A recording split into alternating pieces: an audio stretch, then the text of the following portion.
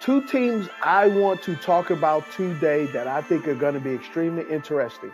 One, the train wreck that's going on in Denver right now. This old school Denver Broncos West Coast offense. Is Russell Wilson washed? Is he hurt? Here's what's going on with Russell Wilson. He does not play good football when he has to be precise, on time, and dependable in the way this offense is required. Russell Wilson probably is one of the best deep ball throwers in the National Football. But what he does not do well is three step drop hitch, throw. That's not what Russell Wilson does. When he's been successful, is off schedule, get outside the pocket, based on watching Russell Wilson, who likes to improvise. Deshaun Watson is coming back week 11 he seems like he improvises as well. And I'm worried that the savior Deshaun Watson that they're expecting him to be in Cleveland is not going to be there.